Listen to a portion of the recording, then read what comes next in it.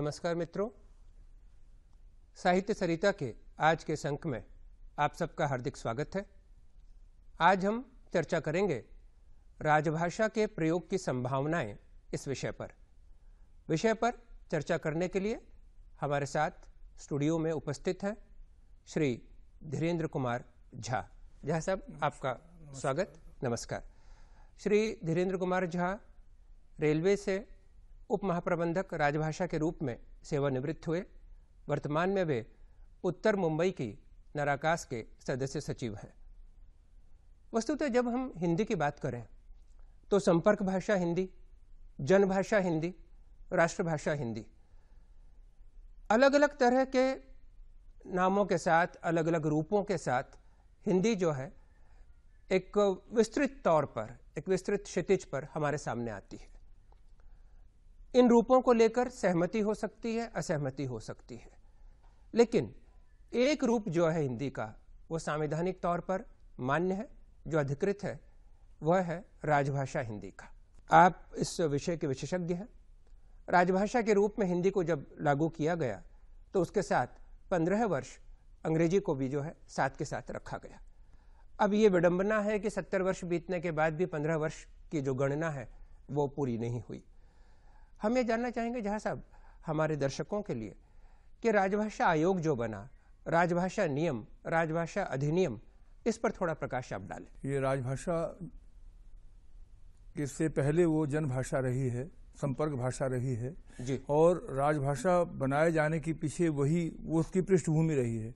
वो जनभाषा होने के नाते ही देश की सबसे ज़्यादा बोली समझानी भाषा को राजभाषा का दर्जा दिया गया। जी। और ये अभी भी हम लोग ये इस भ्रम में हैं कि राजभाषा जो है एक अलग प्रकार की भाषा ऐसा नहीं है। वो हमारे कामकाज जनजीवन की भाषा है। सरकारी कामकाज जो है जनता के लिए ही है और जनता की भाषा में होते हैं। और ये जो एक और भ्रम एक लोगों के मन में है कि राजभाषा नीति जो है उसमें राजभाषा के प्रयोग के बारे में कुछ ऐसी कठिनाइयाँ हैं ऐसी कोई कठिनाई नहीं है जैसे उदाहरण के लिए ऐसे नियम नियम जो बनाए गए हैं राजभाषा संबंधी वो जन आकांक्षाओं को ध्यान में रखकर बनाए गए उनकी आवश्यकताओं को है मैं बातचीत के दौरान उदाहरण देकर बताऊँगा आपको कि किस प्रकार से ये राजभाषा का प्रयोग जनोन्मुखी हो इसके लिए जो प्रयास किए जा रहे हैं उन प्रयासों को रेखांकित किए जाने की आवश्यकता है। उन प्रयासों के बारे में आम लोगों में जागरूकता उत्पन्न किए जाने की आवश्यकता है। मेरा अनुभव रहा है इतने वर्षों में मैंने ऐसा कहीं नहीं देखा कि राजभाषा जो नियम अधिनियम है वो जनता के साथ राजभाषा के प्रयोग को बढ़ावा देने के लिए कहीं बाधक बन रहे हों। हम्म, अभी भी हम्म। जैसे देखिए उन उन सारे उन सारे प्रयोजनों को राजभाषा नीति में स्थान दिया गया है जो प्रयोजन अहमियत रखते हैं आम लोगों के साथ संवाद करने के लिए। मेरा ऐसा रहा है जैसे मान लीजिए कहीं भी जो प्रयोग है रेल है जो ज, ज, ऐसे कार्यालय जिनका सीधा संबंध जनता से है हम्म। उन विभागों में जितना काम हो रहा है वो अगर उसमें मैं ये मे, मेरा अनुभव है कि जनता को भी जागरूक होना चाहिए उनको नियमों की जानकारी हम जो नियमों की जानकारी देते हैं वो केंद्रीय सरकार कार्यालयों में तो बहुत देते हैं लेकिन जनता के बीच सही तरीके से सही परिप्रेक्ष्य में जो सरकारी जो प्रावधान है उनकी जानकारी दिए जाने की ज़रूरत है। मैं आपको एक मिनट यहाँ पर केवल रोकना चाहूँगा। आपने एक बहुत अच्छी बात कही कि जो जनता की भाषा है वही भाषा जो है राजभाषा होगी। क्योंकि राष्ट्रभाषा की तो सर्वविदित परिभाषा है कि किसी भी भूभाग पर सर्वाधिक लोगों द्वारा बोली जाने वाली भाषा और दूसरी भाषाओं से या प्रादेशिक भाषाओं से जो शब्दों का आदान प्रदान कर सके, ऐसी भाषा। और जिस भाषा में उस भूखंड के सांस्कृतिक मूल्यों को अंतर्निहित करने की क्षमता हो। जैसे आपने कहा कि जनता की भाषा राजभाषा भी होती है। ऐसे में राजभाषा को जनोन्मुखी करने के प्रयास थोड़ा विरोधाभास नहीं लगता क्योंकि जनता की भाषा राजभाषा है उसके बाद फिर उसको जनोन्मुखी करना एक विशेष प्रकार का जो है राजभाषा जो है वो कुछ एक कुछ संदर्भों में विशेष प्रकार की भाषा होती है। जैसे जैसे रेल है डाक है और और विभिन्न सरकारी कार्यालय ये, ये बहुत गहरी बात कही आपने शायद पारिभाषिक शब्दावली आवश्यक है कहना वो, भी जानते हैं। अगर मान लीजिए किसी जनता का आयकर से संबंध आयकर भरता है हम्म। तो उसके आयकर की शब्दावली तो जानता है वो। रेल में यात्रा करता है तो रेल की जो सामान्य शब्दावली वो जानता है। हम्म। अगर वो दूसरे विभाग से रक्षा मंत्रालय से विदेश मंत्रालय से पासपोर्ट से तो वहाँ भी सीखता है। तो जब सरकारी कार्यालयों के संपर्क में आता है जब सरकारी कार्यालयों से उसका वास्ता पड़ता है उसकी ज़रूरत पड़ती है तो वहाँ की भाषा वो सीखता है। तो यहाँ विरोधाभास कैसा है? हाँ। वो भाषा तो सीखता ही है। अब वो आप ये मान लीजिए कि रेल क्या है? आरक्षण तो समझेगा ही क्या है वो? राजभाषा नियम अधिनियम और धारा तीन तीन। चूँकि जो आम जनता है जिसका सीधे मतलब इसके प्रयोग से वो प्रयोग भले ही हो रही होगी लेकिन वो सीधे तौर पर इनसे बहुत परिचित नहीं होते। उस पर थोड़ा यदि आप प्रकाश पर डालें। मेरी सोच अलग है। मैं ये मानता हूँ कि जो सरकारी तंत्र में जिस राजभाषा के प्रयोग की बात हम कर रहे हैं जी। उसमें हम जनता की भागीदारी सुनिश्चित नहीं करते।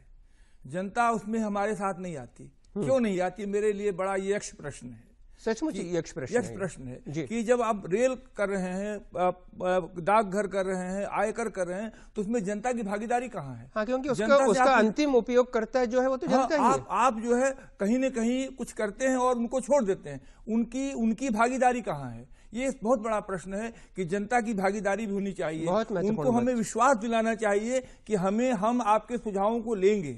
और जो सुझाव लेने और देने का जो ये है ये एक, एक प्रकार से मानव एक, एक औपचारिकता मात्र है। उसमें वो चीज़ वो जीवंतता नहीं है। ऐसा नहीं लगता कि आप मेरे विचार आप मेरी जन भागीदारी चाहते हैं ऐसा हमें एहसास नहीं हो रहा है। ये एहसास कराने की ज़रूरत। जैसे मान लीजिए हमारी ये रणनीति क्या है?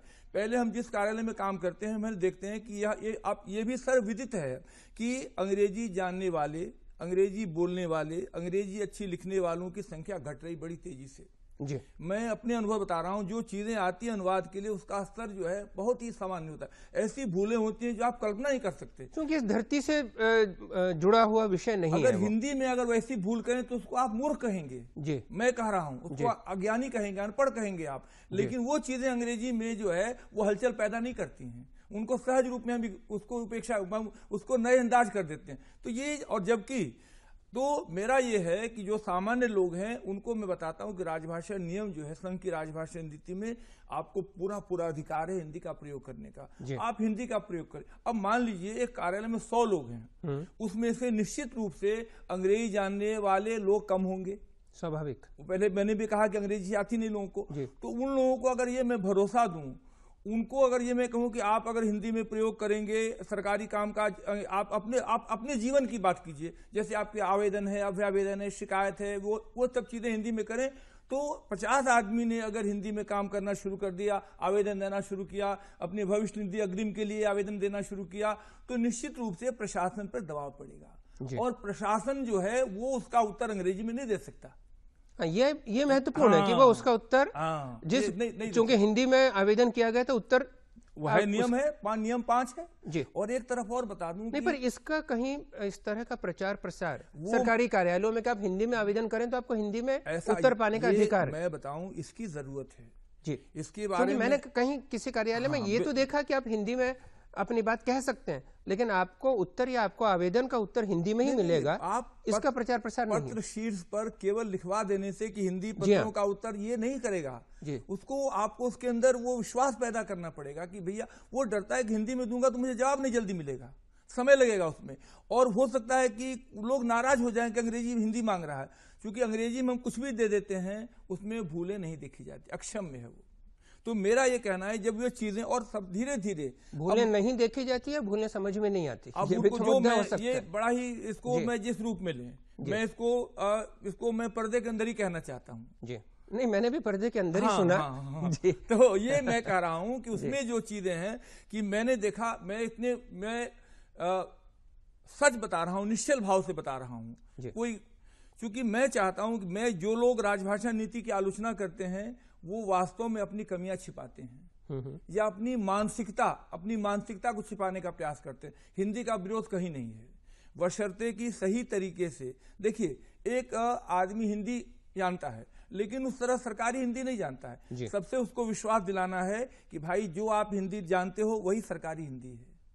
आप बेहद। महत्वपूर्ण बेहद आप अलग नहीं है कि जो आपकी भाषा है वही सरकार वही की। भाषा है क्योंकि लोकतंत्र भी मूल रूप से तो लोकतंत्र में जो आम आदमी है वो उसकी इकाई है। उसकी मदद मैं कैसे करूँगा? जैसे मान लिया सरकार सरकारी में आप कह रहे हैं कि हॉलीडे के लिए अवकाश है। हाँ। और लीव के लिए छुट्टी है उसको बता दिया मैंने। जी। उसके काम की जो चीज़ें शब्दावली दे दी उसको भैया एक रूपता सरकारी ज़रूरी है तो आप कुछ लिखोगे कुछ लिखोगे तो ऐसा करो इसमें ये होता है। उसकी ज़रूरत की जो शब्दावली है हमने उसको दे दी। परिभाषा के जो मुख्य हाँ, शब्द दिया हैं और वो।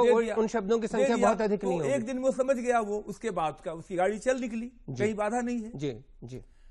तो अभी देखिए मेरा क्या था कि हमने देखा कि ये, उन लोगों को मैंने चिन्हित किया जो अंग्रेज़ी नहीं जानते लेकिन हिंदी अच्छी जानते हैं। हम्म, उन लोगों को मैंने प्रोत्साहित किया कि भाई आप हिंदी में काम करो। आप आदेश जो है सरकारी आदेश आपके पक्ष में है आप रोक नहीं सकते।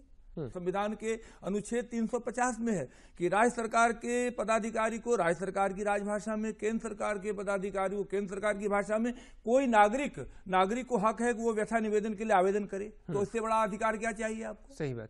बिल्कुल अब सही प्रयोग के स्तर पर हमें जागरूकता लानी है कि अभी उनका हमें भरोसा जीतना है उनको हमें बताना है कि आप लिखो अभी हो नहीं रहा ऐसा अभी हो भी रहा है तो उस तरह नहीं हो रहा है। आधे अधूरे मन से कोई काम नहीं होना चाहिए। जब 50 लोगों ने हिंदी में आवेदन करना शुरू किया तो क्या प्रशासन उनको अंग्रेज़ी में उत्तर देगा? देने का साहस जुटाएगा? नहीं, नहीं, जुटाएगा। बिल्कुल और प्रशासन की नीति है हिंदी का प्रयोग पढ़ाना। तो कुछ लोग जो वहाँ बैठे हुए हैं जिनको असुविधा होती है क्योंकि उसके बाद उनका वर्चस्व समाप्त होता है। सरकारी कार्यालयों में राजभाषा के प्रयोग की संभावनाएँ जो हैं वो उन लोगों के वर्चस्व को चुनौती देती हैं। ये बहुत बड़ा प्रश्न है। इसमें अगर हम दो पक्ष देखें, एक पक्ष हम देखें व्यवहारिक कठिनाइयों का। आपके, आपका जो इतना प्रदीर्घ अनुभव रहा है, व्यवहारिक कठिनाइयाँ किस तरह की हैं? कुछ शब्द जो है, उनको आप जो है कस्टमाइज काम कीजिए। उनके उपयोग की चीज़ें। सबसे केंद्रित, आप बहुत विस्तृत मत बताइए उनको। जितना उनके काम के उतना बताइए उनको पहले। उनको जितनी की ज़रूरत है कस्टमाइज कस्टमाइज हम बोलते हैं, उनके लिए जितना उपयोग, उतना कीजिए। दूसरी चीज़ है, कुछ जो है आपको नियमों की जो भाषा भाषा का जो भाषा की जो संरचना है, एक विशेष प्रकार की, जो बहुत जटिल होती है, जो जटिल होती है उस संरचना को थोड़ा सरल करने की ज़रूरत है। और इसमें जो राजभाषा से आयोग वगैरह जो है, अनुवाद वगैरह, वो चीज़ें अभी भी एक प्रकार से जो अब जैसे उदाहरण में दे रहा हूँ आपको न्यू सेंस शब्द है अंग्रेज़ी का। न्यू सेंस है। उसके लिए अगर आपने क्लेश दायक किया कंटक किया तो कौन समझ जाएगा। सोचने की ज़रूरत है। ऐसा नहीं कि नहीं होगा। बहुत सी चीज़ें हैं इस पर चिंतन करें व्यवहारिक क्योंकि जो लोग क्षेत्र में काम कर रहे हैं भाषा का उनके साथ ये जो आयोग वगैरह उनके साथ उनका उनके साथ उनका संपर्क होना चाहिए उनके साथ उन, उनकी बातचीत होनी चाहिए। विमर्श होना चाहिए। विमर्श ऐसा नहीं होता ये भी विमर्श का विमर्श विमर्श महत्वपूर्ण। मैं जैसा अब यहाँ पर आपसे इसी विषय को थोड़ा सा आगे बढ़ाते हुए जैसे आपने कहा कि जिस तरह के शब्दों का प्रयोग किया जाता है तो ऐसा नहीं लगता आपको कि अनुवाद यदि व्यवहारिक नहीं है तो एक तरह की कृत्रिम भाषा जो तैयार होने लगती है जबकि भाषा तो बेहतर नहीं रहे। अगर वो कृत्रिम होगी तो फिर वो एक जगह रुक जाएगी फिर उसका एक नाश होने लगेगा। कारण वही कारण है। आँख बंद करके जैसे मैंने आपको कहा अब एग्जिट शब्द है। एग्जिट शब्द बहुत से शब्द हैं। क्लियरेंस है एग्जिट है बहुत सी चीज़ें। अब वहाँ पर आपने जो है उस एग्जिट का जो है शब्द को शब्दावली दे दी आपने। शब्दावली में वो भी लिख गया अब उस कार्यालय में जैसे हमारे सिविल हर विभाग में संदर्भ अलग होगा। सिर्फ़ सेज है। अब उसको हमें दोनों चीज़ें बतानी है कि भाई यहाँ पर बहिर्गमन है यहाँ पर निकास है। तो उसके थोड़ा सा बताएँ इसको बहिर्गमन कहाँ होगा और निकास जैसे होगा? कोई स्कीम होती है उसमें स्कीम से बाहर जाता है यूनिट वाला बाहर जाता। है तो वो कहते हैं एग्जिट पॉलिसी में निर्ग- बहिर्निगम नीति उससे जाना चाहता है। तो उस योजना से बाहर निकलने की भी प्रक्रिया है। वो प्रक्रिया उसको पूरी करनी पड़ती शर्तें पूरी करनी पड़ती तो निकास नहीं है वो। वो निकास वो एंट्री और वो। बहिर्गमन है। तो आप उनको उसके बारे में बताइए कि इसका प्रयोग क्या। अभी क्या हो रहा है संसदीय राजभाषा समिति की सिफारिशें बहुत ही व्यावहारिक है। उनको केवल लागू करने की बात है। लागू करने के स्तर पर वो दिखाई नहीं पड़ रहा है मुझे। जी। उनको योजना जो है बहुत अच्छी है नियम बड़े अच्छे हैं लेकिन लागू करने के लिए जिस प्रकार की दूरदर्शिता और जिस प्रकार का उसमें अध्यवसाय वो नहीं दिखाई पड़ रहा उसकी ज़रूरत है। हमने इन सारी चीज़ों को एक खाना पूर्ति मान लिया है। जी। और इसमें क्या है कि एक बार आप देखिए उदाहरण बताता हूँ। पिछले दिनों एक हमारे अधिकारी हैं तो उनकी उन्होंने मुझसे कहा कि एक सुरक्षा रक्षक है। उन्होंने आवेदन दिया महिला ने। जी। तो उन्होंने मुझसे पूछा कि उसकी भाषा देखकर मैं चकित रह गया। संज्ञान वगैरह कि आपने लिखवाया है क्या? मैंने कहा नहीं मैंने नहीं लिखवाया है। हम्म। वो उसको काम करने की छूट मिली है। पिछले डेढ़ वर्षों से हिंदी में काम कर रही है और काम करते करते रहने कारण जो है वो उसकी भाषा परिमार्जित अभ्यास अभ्यास उसमें हमारा अनुभव कोई योगदान नहीं। जी। तो ये बहुत अच्छा उदाहरण दिया आपने। मुझे जो आपकी बातों से एक और जो मेरी सोच में आ रहा है कि आप ये कह रहे हैं कि व्यवहारिक कठिनाइयाँ उतनी नहीं है। नहीं है बिल्कुल। जितना जितना जो अवरोध है वो मानसिक है। आप उन्नीस सौ सतासी में मैं सीमा शुल्क सदन कलकत्ता में था। जी। सतासी में पहली जो मेरी नियुक्ति हुई हम्म। वहाँ पर सस्पेंशन ऑर्डर निकलता था निलंबन हम्म। आदेश बड़ा तकनीकी होता था। मैंने कहा कि आदेश हिंदी में भी निकालेंगे क्योंकि धारा तीन तीन के अंतर्गत आता है। तो कस्टम के अधिकारी जो थे उन्होंने कहा भाई बहुत तकनीकी है हम तो कोर्ट में हार जाएँगे। हमने कहा अंग्रेज़ी में नहीं हारते आप क्या? मैं बहुत मैं अनुवाद करता हूँ प्राधिकृत करता हूँ मैं प्रमाणित करता हूँ आप मेरे खिलाफ कार्रवाई कीजिए। और वो निकला और हिंदी में चलने लगा। तो सतासी में जब हुआ तो आज क्यों नहीं हो सकता? बहुत बहुत क्यों नहीं हो सकता? सही बात। ये ये जो है ये उस भाषा का जो है ये व्यवहारिक पक्ष है कि मैं, उपयोग में मैं हिंदी का प्रयोग करने की इच्छा रखने वाले लोगों के लिए मैं जो है उनके लिए मैं संरक्षण देता हूँ उनको। आप करो प्रयोग करो क्यों नहीं होगा आपको? आदि जब नियम है संविधान के अनुच्छेद में लिखा हुआ राजभाषा नियम पाँच में लिखा हुआ है सारी सुविधा उसका आप लाभ और ये हमारा संवैधानिक कर्तव्य भी है कि उनको संरक्षण दिया जाए। संरक्षण दिया क्यों नहीं दे सकते आप? और राजभाषा अधिनियम अच्छा देखिए धारा तीन तीन की बात आपने की। मैं धारा तीन तीन पर आपको प्रकाश डालूँगा मैंने विशेष रूप से डालूँगा। धारा तीन तीन में धारा तीन तीन का मतलब ये था कि जब ये उन्नीस में बना संसदीय राजभाषा अधिनियम बना और सड़सठ में संशोधन हुआ तो उसमें चौदह दस्तावेज़ निर्दिष्ट किए गए कि ये चौदह सामान्य आदेश उसमें परिपत्र भी है अधिसूचना भी है लाइसेंस भी है परमिट भी है निविदा भी है सारी चीज़ें। तो इनको बाइलिंग द्विभाषीय रूप में साथ साथ जारी किया। इसका उद्देश्य ये था कि जब इतने बड़े पैमाने पर ये चीज़ें हिंदी अंग्रेज़ी दोनों भाषाओं में जारी होंगी तो हिंदी का स्वरूप निखरेगा। वो मानक बनेगा। हम्म। अगर हमने उसमें ईमानदारी से काम किया होता तो, तो स्थिति बदल जाती। आज हमको ये नहीं करना पड़ता। और अभी भी हिंदी जो बोली जा रही लिखी जा रही सहज रूप से लिखी जा रही है। तो हिंदी का अलग अलग अलग अलग हमने कोटिकरण क्यों कर दिया? हिंद राजभाषा और दोनों मैं उसको बहुत बड़ा अंतर नहीं मानता क्योंकि मैं एक जनता के रूप में सरकारी कार्य से मेरा संबंध पड़ता है मैं तो वहाँ भी आता हूँ। मैं हम्म। निविदा टेंडर भरता हूँ मैं कार्यालय आदेश मुझे मिलते हैं किसी न किसी रूप में तो सरकारी कार्यालयों का जनता के साथ अभिन्न संबंध है। ये संबंध ऐसा नहीं कि बहुत औपचारिक संबंध है बड़ा गहरा संबंध है। इस गहरे संबंध को देखते हुए समझते हुए महसूस करते हुए हमें भाषा का प्रयोग उसी रूप में करना चाहिए। मैं ऐसा मानता हूँ। बहुत बहुत महत्वपूर्ण। मैं आपसे सहमत हूँ क्योंकि भाषा जो है जैसे पहले भी मैंने भी अपनी चर्चा में कहा कि बहता नीर है। यदि हम उसको अलग अलग भागों में बांट देंगे तो निश्चित तौर पर जो है भाषा भाषा नहीं रह जाएगी एक और उदाहरण में देना चाहूँगा। अभी जो प्रोग्राम बन रहे हैं अंग्रेज़ी में जी। प्रोग्राम बन रहे हैं। प्रोग्राम बनने बड़ी अच्छी बात है। एक हमारे यहाँ एक प्रोग्राम बना कि जो प्रतिबंधित क्षेत्र है जो भीतर आएँगे उनको जो है वो पास मिलेगा प्रवेश हम्म। गेट पास। हम्म। तो उसमें अंग्रेज़ी में बने। हम्म। मैंने कहा कि साहब नियम है वो प्रोग्राम हिंदी में बनेगा। और मेरे उसमें विकास आयुक्त थे बड़े अनुकूल थे अच्छे बेचारे कोई मैं अनुकूल सभी अनुकूल होते हैं। आप अपनी बात कैसे समझाते हैं? उनको एहसास कराते हैं। और मैं बता दूँ वो जब आप बताएँगे कि इतने इन लोगों को सुविधा हो रही है ये नियम का उल्लंघन हुआ रहा तो कोई अधिकारी ये नहीं कहता कि नहीं आप मत कीजिए। केवल आपको थोड़ा सा कहना है उसको। लेकिन उसमें क्या होता है जब आप कहेंगे तो आपकी ये जब आप हिंदी अधिकारी या अनुवादक हैं तो आपसे भी अपेक्षा की जाती है कि जो अनुवाद आपके पास आए करें। तो हमने क्या किया? कठिन अनुवाद हमें न मिले इसलिए हम यहाँ पर समझौता करते ये समझौतावादी मनोवृत्ति जो है हिंदी के लिए घातक घातक सिद्ध हुई। आपने अभी प्रोग्रामिंग की बात हाँ, तो, की तो, कि तो, अंग्रेज़ी में प्रोग्रामिंग अच्छा, सुनिए उसके बाद जब मैंने कहा कि साहब ये प्रोग्राम ये तो प्राय जो गेट पास लेने सामान्य लोग आते हैं। बड़ा आदमी तो कैसे तो विशेष से आता है फ़ोन करेगा वो करेगा उसका सब कुछ तैयार रहता है। सामान्य व्यक्ति आता है उसको आपने लिखा है कि भीतर प्रवेश ये जाना ये नहीं कर सकते आप ये नहीं ले जा सकते सारे आपने अनुदेश दिए हैं। वो समझ ही नहीं पाएगा और भीतर आप पकड़ लोगे उसको। हम्म। ये तो वो एक प्रकार से वो एक, वो खतरा है उसके लिए। जी। उसके बाद उसकी जानकारी तो आपको आश्चर्य हो कि गेट पास बाइलिंगुअल निकल लेगा हिंदी अंग्रेज़ी। आपसे कहना चाह रहा था कि जब ये कहा गया कि वो जो प्रोग्रामिंग है वो अंग्रेज़ी में हुई जहाँ तक प्रश्न संगणक का है जहाँ तक प्रश्न कंप्यूटर का है।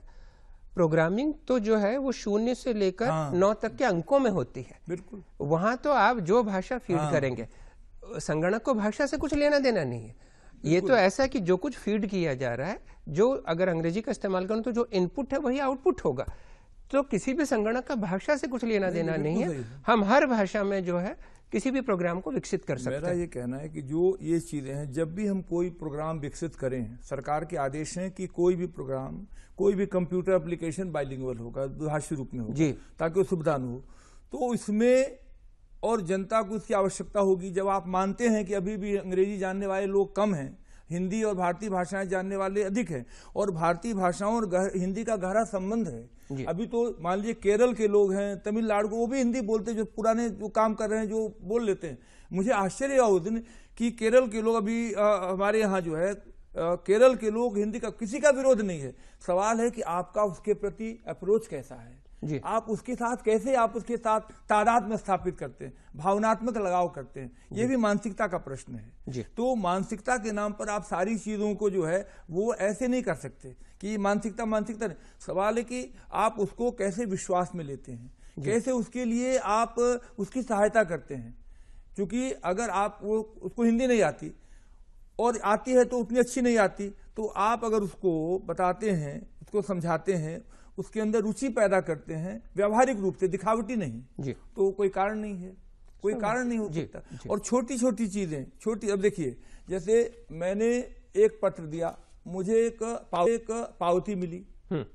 अब आजकल तो सब कुछ मालूम है आपको सब कुछ हो रहा है ये ई वाला इलेक्ट्रॉनिक जी तो आपने उसको उसने एक हिंदी पत्र दिया आपने पावती अंग्रेज़ी में दी। हम्म। अब ये छोटी सी बात है लेकिन हिंदी में पत्र देने वाले की वो आपने चोट पहुंचाई। चोट पहुँचे असुविधा उसके लिए जबकि उसको सुविधा। तो अगर वो पावती भी हिंदी में आप देते हैं तो उसका मनोबल बढ़ेगा वो उसका विश्वास बढ़ेगा। और लोकतंत्र शासन और हाँ। प्रजा के बीच का जो एक संबंध है वो जो अंतर संबंध है हाँ। वो जो है वो दोनों जो है एक ही एक ही स्तर पर होना चाहिए। संवेदनशील बहुत होना चाहिए कि हाँ, इस इस इस इस कारण से मुझे असुविधा होगी हाँ। मुझे मानसिक कष्ट होगा। जी। मेरी क्षति भी हो सकती है। ये अगर संवेदना आप रखेंगे तो भाषा का कभी विरोध नहीं करेंगे आप। क्योंकि मुझे इस संदर्भ में याद आता है कि एक बार जो है एक हिंदी भाषी प्रदेश में इस तरह का जो है नियम लागू किया गया था कि वहाँ पर डॉक्टर्स जो प्रिस्क्रिप्शन लिखेंगे वो हिंदी में हाँ, लिखें। साफ़ अक्षरों में। साफ़ अक्षरों नहीं वो हिंदी में लिखें। तो कि जो डायग्नोसिस आप जिसको कहेंगे कि सारा ये होने के बाद में कि मरीज़ को बीमारी क्या है यदि वो हिंदी में लिखी जाए मान लीजिए कि गले में सूजन है तो बहुत बार ऐसा होता है कि संबंधित अंग्रेज़ी शब्द हाँ, से वो अनजान है। वैज्ञानिक शब्द तो हाँ। यहाँ अगर उसको गले में सूजन लिखी जाती है तो बहुत राहत महसूस करता है मरीज़। तो ये ये जो है मुझे लगता है आशंका में जीता है ना मैं बिल्कुल उस बिंदु पर आ रहा था कि हाँ। हमारा विषय था राजभाषा के प्रयोग की संभावनाएँ। अब ये हमारा दुर्भाग्य कि सत्तर वर्ष बाद भी हम संभावनाओं पर चर्चा हम्म, कर रहे हैं। लेकिन अगर हम देखें तो पीछे की यात्रा में ये नहीं कहूँगा कि संभावनाएँ नहीं रही हम्म। लेकिन अधिकांश हमारी ऊर्जा जो है वो संभावना को आशंका में हाँ, परिवर्तित करने में चली गई है। तो मैं जानना चाहूँगा धीरेन्द्र कुमार झा जी आपसे कि आने वाले समय में आप राजभाषा के प्रयोग की जो संभावनाएँ हैं उनको आप किस तरह से देखते हैं? कितनी सकारात्मकता है? और वास्तविक संभावनाएँ कितनी है? आशंकाएँ कितनी है? मैं बहुत संक्षेप में आपको उत्तर चाहूँगा। निर्विवाद रूप से मैं कहना चाहूँगा कि राजभाषा के रूप में हिंदी का भविष्य बहुत उज्जवल है और ये हिंदी के प्रयोग का दबाव पड़ेगा तंत्र पर भी। जी। पड़ेगा क्योंकि ये चीज़ें जो हैं जिस तरह से अब कार्यालयों में करें न करें लेकिन ऐसा वातावरण बन रहा है जिस वातावरण के तहत हिंदी का प्रयोग जो है वो एक प्रयोजन मूलक बाध्यता रहेगी। प्रयोजन मूलक बाध्यता। बहुत अच्छा शब्द प्रयोग किया आपने प्रयोजन मूलक प्रयोजन मूलक बाध्यता रहेगी ये मैं देख रहा हूँ। और केवल थोड़ा सा अब मेरा ये भी कहना है कि जो जो पॉलिसी उसको भी लेके चले वो उनका अलग एजेंडा ना हो। जी। जहाँ साहब आप की सारी बातें जो मुझे लगता है कि हमारे जो दर्शक हैं उनके आज ज्ञान में अभिवृद्धि हुई होगी। और राजभाषा को लेकर जो कई तरह के मन में संशय हैं या उसको लेकर जो एक पूरी जानकारी का भाव था वो हमारे दर्शकों तक पहुँचा होगा। आप स्टूडियो में आए आपने समय दिया और आ, हमारे दर्शक इससे लाभान्वित हुए। इसके लिए आपका बहुत बहुत धन्यवाद। नमस्कार। धन्यवाद।